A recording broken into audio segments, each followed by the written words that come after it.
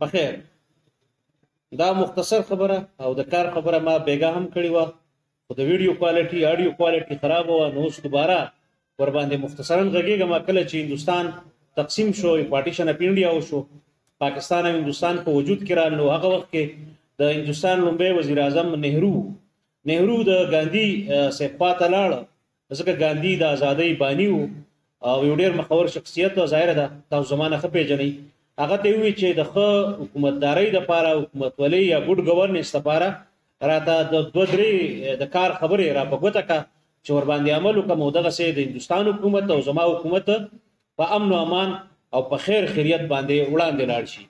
ګاندي بابا ګاندي صاحب ورته وی چې د درې خبرو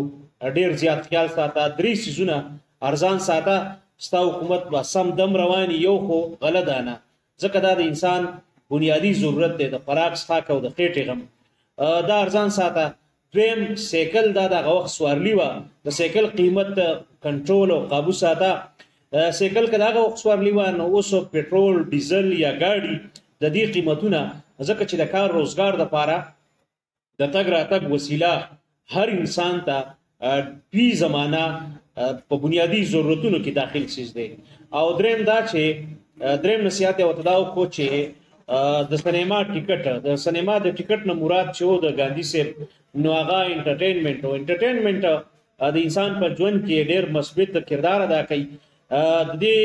انټرټینمنټ نشواله چې کوم دی نو دا بیا فرستریشن پیدا کوي او فرستریشن نه صرف نفسیاتي ذهني او ټولنیز ستونزې پیدا کوي بلکې ژوند ډیر په عذابي انتها پسندې اړه خلک زی نو دا درې خبرې په هغه زمانه کې هم د ښه ګورنمنت لپاره د ښه ګورننس لپاره ضروری وي او دا اوس هم ضروری دي غله دانه د خوراک بنیادي سیسونه ارزان د تګ راتګ وسیلې پېټرول ډیزل ګاډي ارزان او دا چې انټرټینمنټ کاغه د لوبو په شکل کې دی کاغه د تفریح تبه